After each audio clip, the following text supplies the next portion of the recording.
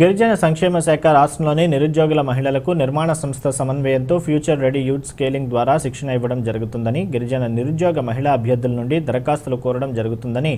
జిల్లా గిరిజన అభివృద్ధి శాఖ అధికారి తెలిపారు